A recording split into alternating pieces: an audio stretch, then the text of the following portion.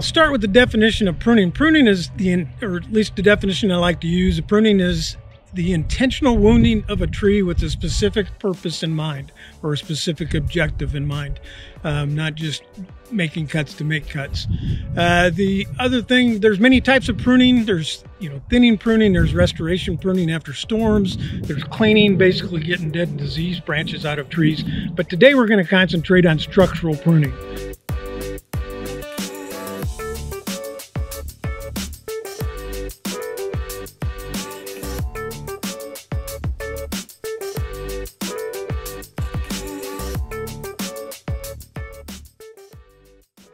Hi, my name is Tim McDonnell. I'm with the Kansas Forest Service. I'm the Community Forestry Coordinator.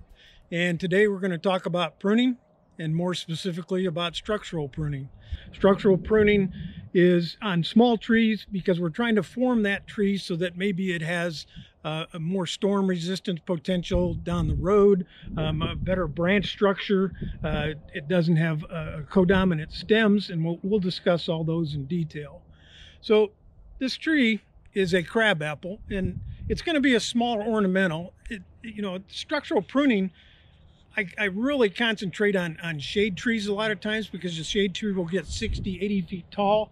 And if you have some of those bad branch angles or codominant stems, we'll show you in a little bit, those have the tendency to split out in storms. On a, on a smaller tree, it, it might not be as critical, but we still need to work on that branch structure and, and those definitely get rid of those codominant stems because they're just not good branch attachments. Okay, on this particular tree, I'm, i chose this tree because it is a, actually a pretty good example of, of pruning that's already been done properly. We've got uh, a good, fairly good central leader coming up in there. Um, it's not always central leader doesn't have to necessarily be perfectly straight. As long as it's just dominant is probably the more important part. And you can see at the very top, it kind of actually sways over to the south side. And that's kind of purposeful because actually our south wind will probably bring it back a little bit more upright. So on this tree, when we talk about structural pruning, again, the main things you want to talk about is getting rid of these codominant stems. And when I talk about a codominant stem, is that there are two parts of the plant that are competing with each other. They both want to be a stem. So neither one of them wants to be a branch. They will continue to compete and always want to be a stem. So a lot of times what we'll do is either subordinate the one side, in other words, kind of tell it to be a branch, or we'll take it off completely and just get back to a nice central leader branch. So that's one thing we'll do to this tree, even though some of it's been attended to already. The other thing we'll work on what we call the scaffold branches. The scaffold branches are those lateral branches. You want good separation between branches. You want uh, appropriate size of branches. You want appropriate, when I say appropriate size, they need to be about half to less size of the diameter of the trunk. That diameter of the branch needs to be 50% less diameter or even one third or 30% would be better uh, uh, compared to the size of the trunk. The other thing is you want a nice, you know, fairly 45 to 90 degree branch angle so that they have good uh, a branch attachment and orientation basically north south east and west just nice uniform orientation uh, you want separation between the branches uh, again because you don't want them all just congregated in one spot. That puts a lot of stress on the tree. So you want some separation, you know, in a small ornamental tree, that separation might be eight to 10 inches. On a large shade tree, you know, if it's an 80 foot shade tree, you might want two foot of separation between those branches. Again, that's for many years down the road. What we're basically trying to do is just, and especially in a state like Kansas with our, our, our ice storms, our wind storms, and, and that, is we're trying to create a tree that will be more resilient to that uh, potential storm damage. And I do believe by taking care of this when the tree is young and actually watching it as it grows and, and treating trees as an investment. I mean, it's not just something you plant and walk away from. You've got to put some money into them. And the main reason we, we actually have to prune trees like this in the landscape is it's what we call open grown trees. If they're grown in the woods, they may grow nice and straight because they're crowded. They're all reaching for sunlight in the landscape it's what we call open grown. So they have they they reach for sunlight in many different directions and they, they just grow more open. So we have to pay attention to them a little bit closer. Okay, going back to the codominant stem, when you have two stems that are basically competing with each other, they're somewhat the same diameter, and they're always both going to want to be a stem. They're both they're all going to have that apical dominance. They're going to want to go up straight. They're going to grow about the same width, but they're always going to compete with each other. So one of the first things we want to do in structural pruning is get rid of these codominant stems. And you can do that and you can see they've actually already made a, a, pruning cut. And again, this tree's been worked on a little bit, so that's a good thing. So you can remove this branch all at once and make one pruning cut, or you can do what we call subordinated and come in here and basically choose a lateral branch, prune it, and you've all of a sudden made that to be more branch-like. And it's going to act more like a branch and it's not going to be the codominant leader where you have them both going for the sky.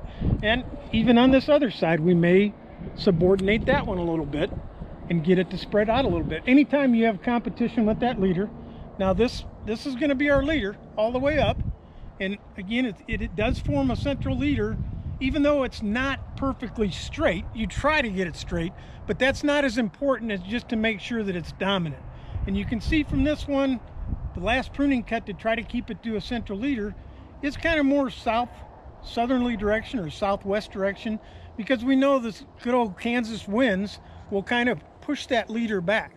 And so a lot of times in Kansas, what we do is we choose one that's kind of maybe going off that direction and nature will kind of straighten it back up. You can make a one cut and take that, take that branch off here at one time.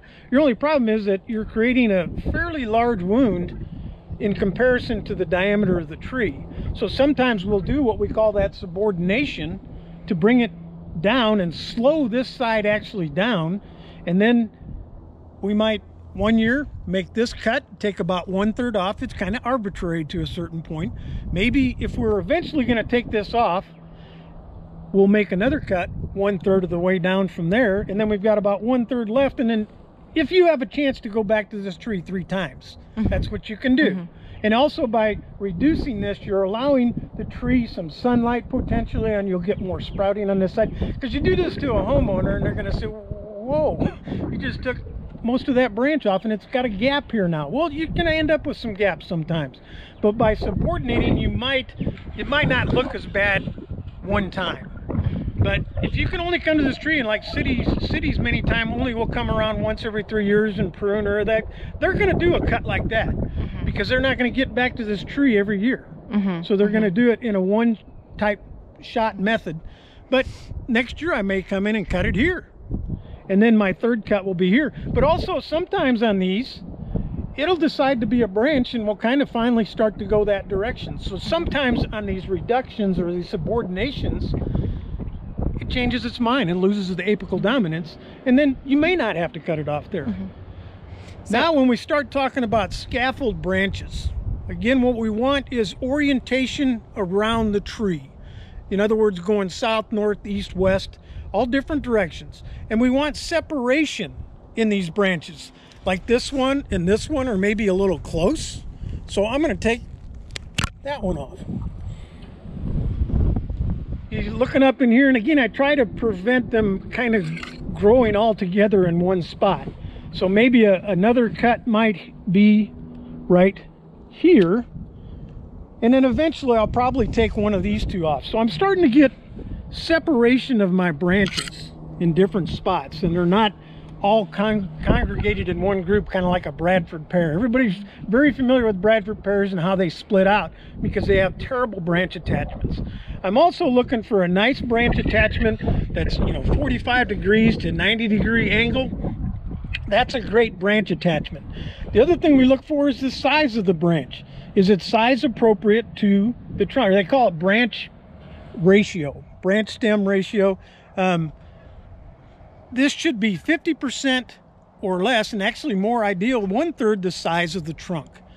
So that's an appropriate size branch for that. Now, when I talk about separating these branches and that, it on a small ornamental tree like a crab apple, it's it's a smaller trees. It's not maybe as important, or you can have uh, six inches to a foot difference between them. Now, when you're talking large shade trees, you might want branch separation of a foot to even maybe two feet because the trees will get 60 to 80 feet tall. So you want good separation in those. You try to uh, uh, somewhat minimize your pruning. On a young tree, you don't want to prune any more than 20% at one time. You know, because you, the more leaf space you leave on that tree, the faster it's going to grow because it's more photosynthetics process and that. So it's going to create more fruit. So we try to keep it to a 20% minimum or maximum on small trees. Actually, large mature trees, I probably prune no more than 10% at a time.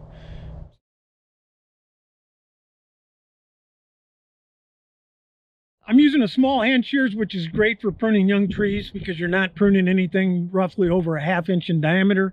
It makes a nice clean cut. It's what we call a bypass pruner instead of what we call the short or the anvil pruner that smashes the branch. These bypass each other. And so it makes a nice clean cut. Here you want to leave what we call the branch collar or the branch uh, yeah, the branch collar, you want to leave that intact because when we try to cut a branch, we try, you can, and that's kind of that swelled area.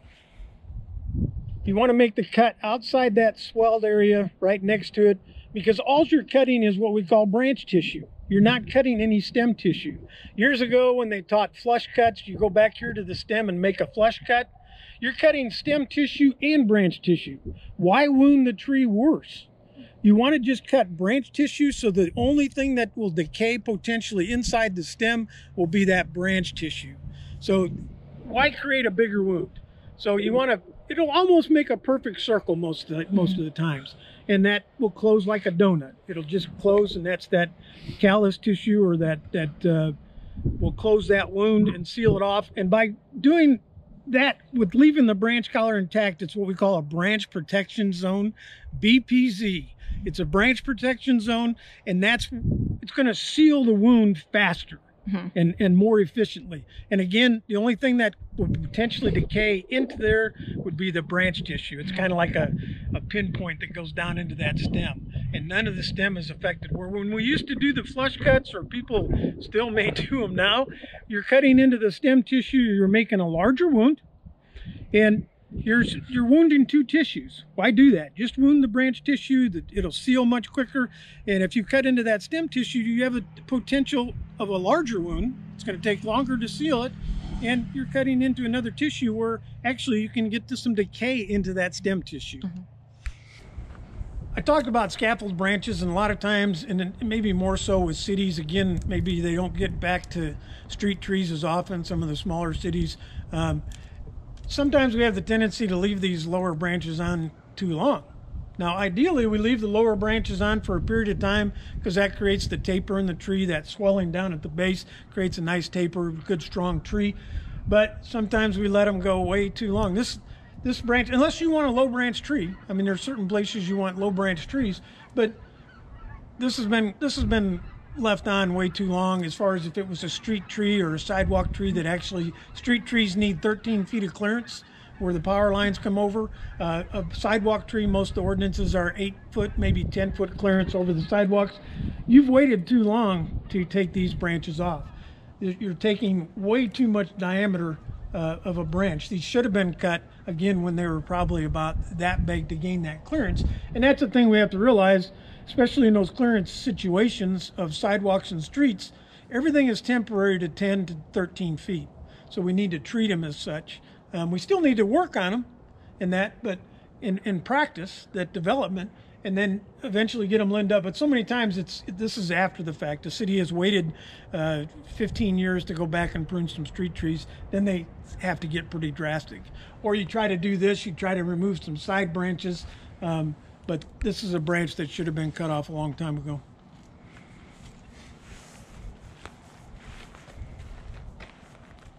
Now we're into a shade tree versus a small ornamental we showed you the first time. This is a uh, maple tree and uh, main reason I wanted to show you is it's got a, a, good central leader and might show that a little bit better than our first tree, but a great central leader. Um, there's been a codominant that's already been reduced, but this tree is, is starting to take some decent shape. Um, I think we have to maybe work on the scaffold branches a little bit to get them, uh, you know, eventually some separation. But uh, yeah, okay. Okay, again, talking about the central leader, we've got a nice central leader in the tree with the nice bagworm at the very top, kind of tells you where the central leader is. Um, you can see this branch to the back side. This one right here has been reduced. And it was reduced about a year ago because it was starting to compete and co-dominant because you start to see these two stems were getting a little bit closer in size and they were both competing to be the stem. So it had already been reduced once and it probably needs reduction again. Okay, the, the co-dominant would be right here. This one's a little bit bigger and the reason it is bigger is because this one had already been reduced, say a year or two ago, because it was starting to compete with those two. But this is a great example of one that had already been reduced because it was competing with that one. And again, you might want to reduce it some more, make a cut there so it's no longer competing. If you're eventually going to take this branch off, we may reduce it even a little bit further and then make a decision next year or the year after that to make a cut there. And then you've pretty much gotten rid of that co-dominant stem. So again, if you have the ability to come back to this tree three separate times or three years apart, you might do that reduction. But if you're only going to come back to the tree once, you may take your pruning cut there and do it all at once. And then now we've got that to a central leader. I'm probably not going to do much with the scaffold branches right now. Um, they all look pretty good. They're, they're a little close together, but this is kind of a, a medium size uh, maple. It's a, it's a Shantung cross maple, so it's not going to get as big as a silver maple or anything like that. But we may, we're looking for those nice branch angles, 90, 90 degrees to 45 degrees that have a good branch uh, uh, angle to them they're uh, size appropriate, you know, less than 50% of the main stem or I, one third less would actually be more ideal. Um, yeah, I don't know that I would do anything with the scaffolds on this one right now. But you can see, even in the past, there was a, a little bit of a competing stem there that they had removed maybe two years ago. And I think the reason there's a little bit of a stub there is because they couldn't quite get the loppers in there and you know could have been maybe just a little bit better cut. Now this tree has been worked on also, but maybe there's a couple corrections we might make up top. The main point I want to show you here is the branch angles. Again, we've got nice scaffold branch, 45 to, to 90 degrees. Um, the branch ratio aspect is is uh, you know smaller than the diameter of the tree. You don't want those branches to be the same diameter. You want them to be 50% less. Maples um, have opposite buds, so a lot of times they have two branches coming off on both sides. You might address that down the road. But then when we start getting up here in the tree, you can see those branch angles are much tighter in there. And those are poor branch attachments because they're too tight. You see what we call a branch bark ridge? That little portion that is sticking out, that actually starts to separate a little bit in that tree and the tissues don't connect in that. So that's not a good branch angle. Here we got a good branch angle. Here we don't have such a great branch angle. Now they've started to actually work on this tree and reducing that, maybe eventually removing these two. I will go up there and do that. But just to show you what we're talking about, this is a co-dominant stem out of a pin oak. And this is actually the branch bark ridge. Unfortunately, we're missing all the bark here, but this other side will show you very clearly. But you can actually start to see a crack in there. Now, when we flip the side, when we call it codominant stems, number one, both of these stems are the same diameter. They're both competing with each other. They're both going straight up. They're both growing the same diameter at the same time. But then we get what we call included bark. And that actually shows the bark right in there. And you actually see that crack. There is no tissue connection in that branch right here. There's a little bit of a connection out here, but the bark is actually causing that to separate, and that's what creates the branch bark ridge, which is what I'm talking about right here. Branch bark ridge. If you see it on the on the branch portion as it forms, that's not a good branch attachment. Where many times in a U-shaped branch, you'll see the branch. Unfortunately, this has a little bit of a branch bark ridge going this way. And but you'll see the tissues make that turn. Even though there's a crack, that's from drying out, but they make that turn. So many times if you have a U-shaped branch, a U-shaped branch, again, depending on species like Zelkova, they're probably good branch attachments. It's when you start to get close together um, is, is more of a problem. But a lot of times when we see that branch bark ridge grow upward from that union, that's a good branch attachment. So as far as U-shaped branches, we don't get as too concerned, as much concerned about as when we start talking about tight angles like that.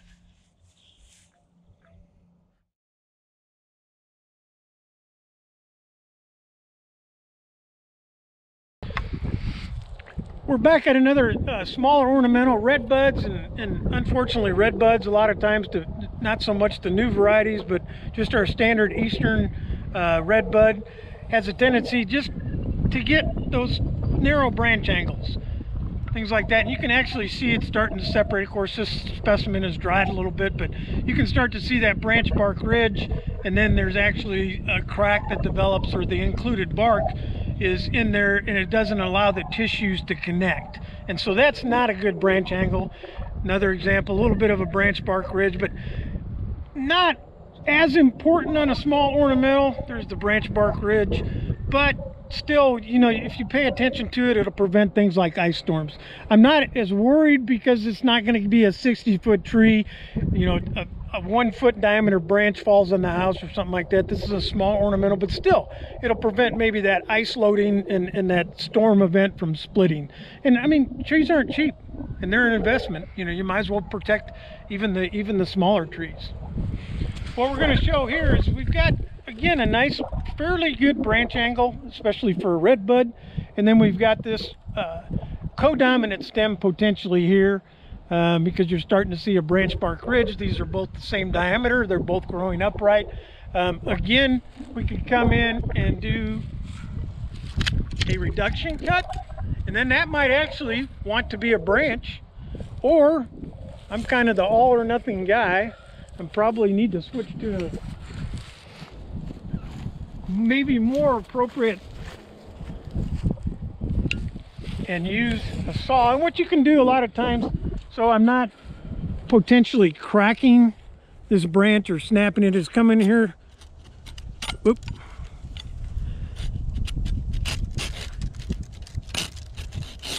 and make a cut there. So I've taken the weight of the branch off. I'm not going to strip the bark uh, on the stem or anything like that. Some of these, yeah, don't get your hand in the way. It's a sharp saw.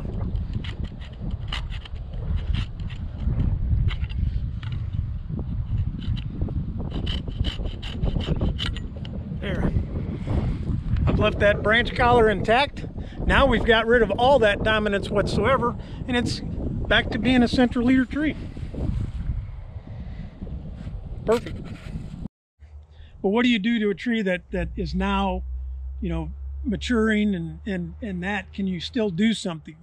Um, you're better off trying to do something because, you know, it's going to split out. I can almost guarantee that. In, in either ice storm or wind event or anything like that, it, it will split out eventually or it gains enough weight that it just splits out on its own. So to correct that, yes, you can do it to a certain point in, in mature trees, but you might, again, try that subordination where you take one third out and then that might be enough. Because all you're trying to do is is to teach that to not be a stem and to be a branch.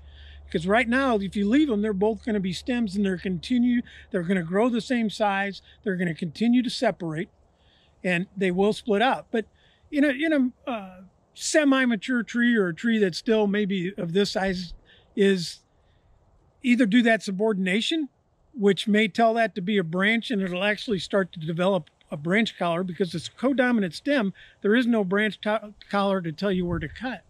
So you're kind of doing a just a guesswork. But supposedly at times, and I, I, I don't, I've, I've always talked about experimenting with this, but you can take one third reduction, another year take another third reduction, and by the time you make that third year cut, there develops a branch collar because again you've taught that to be a branch and there will be somewhat of a branch collar development which again tells you where to cut that branch The other thing is, as you can do that subordination, one third, one third, and make that final cut, that's a three year process.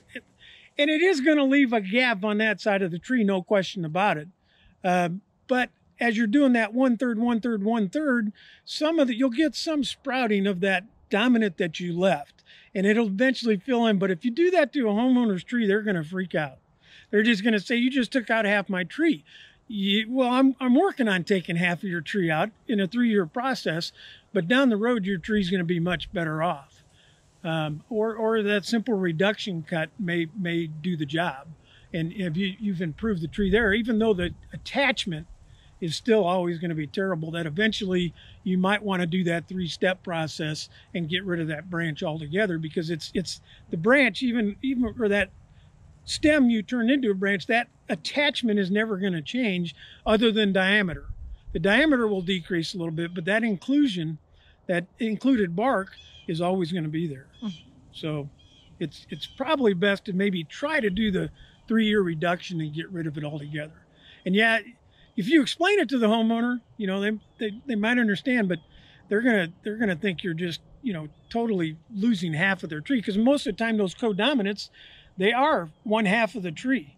And when you start, that's why if you did the three step method, they might, you know, not be as upset. If it was my own tree, I would probably get aggressive with it because, again, 20 years down the road, it's kind of probably be a defect that fails, even just on its own. Okay, earlier in the video, I mentioned uh, uh, excurrent and decurrent forms of trees. This is a perfect example of an excurrent tree. This is actually pond cypress related to the bald cypress. It keeps a nice, good center leader, mostly on its own. And then we talk about the branch angles are look to be a little bit more upright and that's just the way this tree grows is a little bit more upright branches more upright foliage but it keeps that nice central leader on. Not that it's not going to split at some point in time up top many years down the road but most of the time it keeps a good central leader. Trees like that would be again conifers have the tendency to keep a good central leader. Uh, bald cypress, pin oak, a lot of uh, some of the oaks keep a fairly good central leader. Um, it's those that you know, maybe don't spread out quite as far. We'll keep that, that good central leader. And then we have what we call a decurrent tree, which is a tree that does not keep a central leader. Um, and, and, it's almost probably virtually impossible to try to keep a central leader in a decurrent tree. Um, this is probably a little of extreme of the not maintaining a central leader, but I said a lot of times at trials we don't do a lot of pruning too. But yeah, this is definitely a, a mishmash of things in here. This one's actually fiddling on this one. You know, this one could have been maybe our central leader to start with. And now we got this montage that's going up with it. It's actually what we call a fiddler branch. It's starting to rub against each other. Um, but, and I, again, this, this, this branch here, ignoring this, this branch here is showing that U shape. And that U shape is a little bit better. It shows a little bit of a branch bark ridge. And again, if you see that branch bark ridge actually coming out of the top here, that's actually a good branch attachment. That means that that bark has not included here. And that bark is actually pushed up. And so there's no inclusion in there to keep the separation of the tissues. This one's got good tissues back and forth, even though it does show a little bit of a ridge. And basically, all the things we were talking about in the small trees, we're talking about, or the main thing we were talking about, we were talking about scaffold branches, but we were talking about that codominant stem and why it is so important to keep that tree to a central leader, not always, doesn't have to be perfectly straight, but just a one dominant leader, because inevitably what happens when that tree gets to be a large shade tree is that further begins to separate from the included bark that's in there that's separating the tree tissues. And then ultimately what happens is this. In a large shade tree, you have a codominant stem that is split out. This tree's worthless now. I mean, it, it, it needs to come out. It, we could have prevented this. The, the only trouble is we, we showed you what to do, and you just have to continue to do it, though, through the course of the season. Um, when I worked in the garden center, a lot of times we'd, we'd sell them a tree, lay them down in the back of a pickup, always had a pair of pruning shears, and I would cut a codominant stem off the top. Of course, the person that just bought the tree was worried that I just they lost some money out of the tree that I, they just paid for. But I said no, and it, it was a teaching moment. You know, say, hey, I just removed a codominant stem. You need to watch for that for the rest of this tree's life, because sometimes even a even a tree that may keep a central leader on its own, which is what we call an excurrent tree, which would be like a pin oak keeps a pretty good dominant leader all the way through, but it can separate. That sample I showed you earlier was actually a pin oak. Higher up in the tree, it finally did separate and become co-dominant stems. Conifers or evergreens will pretty much keep a good dominant leader in them. Uh, bald cypress keeps a good dominant leader. And then we have what we call decurrent trees, which would be like maples, um, honey locust, uh, the elms. They're, it's going to be tougher to try to keep a central leader in, but we try to do the best we can. Excurrent trees are much easier to keep a central leader. This is a maple. This is pretty much what we would refer to as a decurrent tree. So it's going to have some of those issues of co-dominant stems. It's a opposite bud tree, so it's also going to have more maybe a potential problem of co-dominant stems when the two buds come out and and start to compete with each other. But this is what we're trying to this this this is a mortal wound. This is this tree is not going to recover from that. You can see that it is trying to seal the wound back over, but how long is that going to take to seal the wound? That wood on the inside is going to decay long before this closes. So this is a mortal wound. It has to be removed. Plus, it's, it's a safety issue. This side is going to blow off. Now, it's going to take an east wind, which is not very often, but it does happen. And it's just going to blow the other section off the other side. This stuff is preventable by pruning, realizing trees are an investment. You need to put a little bit of money into them. They're open grown in our landscapes that kind of grow that willy-nilly way uh, instead of in the in the woods where they'll kind of keep that central leader and grow upright because of competition. But when we do these open grown trees, they need attention. You need to prune them occasionally, start when they're young, keep doing it through life. It's a lifelong commitment, man.